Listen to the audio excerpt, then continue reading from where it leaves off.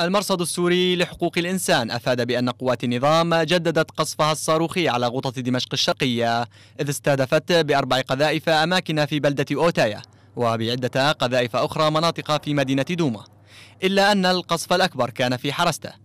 حيث استهدفها النظام بستة عشر صاروخ على الأقل يعتقد أنها من نوع أرض أرض.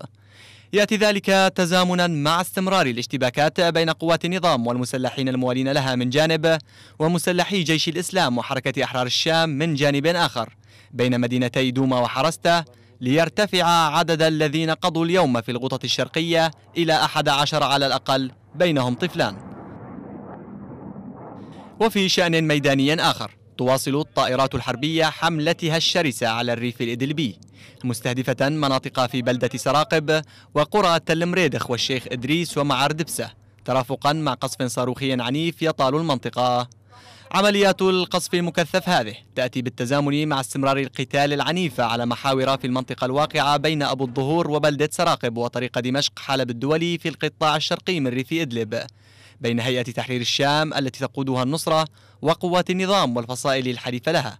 ووفقا للمرصد أن الاشتباكات تركزت في محور تل طوقان على بعد 11 كيلومتر من بلدة سراقب التي تحاول قوات النظام جاهدة قضم المناطق والوصول إليها.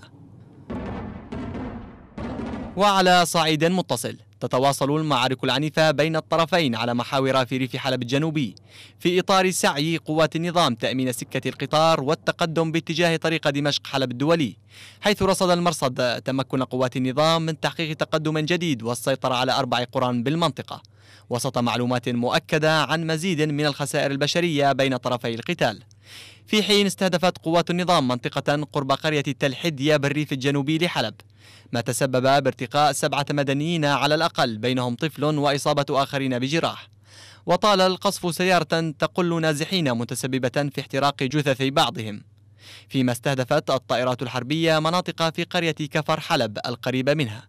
الأمر الذي أدى لمقتل مدنيين اثنين ليرتفع إلى 26 ممن قضوا إثر غارات الطيران والقصف المكثف على ريف حلب بحسب ما أفاد به المرصد السوري. وبالانتقال جنوبا دارت اشتباكات في محور حيط بمنطقة حوض اليرموك في ريف درع الغربي بين فصائل المعارضة المسلحة من جهة وجيش خالد المبايع لتنظيم داعش من جهة أخرى. إثر هجوم نفذه الأخير على مواقع الأول ترافق مع قصف واستهدافات متبادلة. كما سقطت قذائف أطلقتها الفصائل المسلحة على مناطق في حي السحاري الخاضع لسيطرة قوات النظام بمدينة درعا مما أسفر عن أضرار مادية.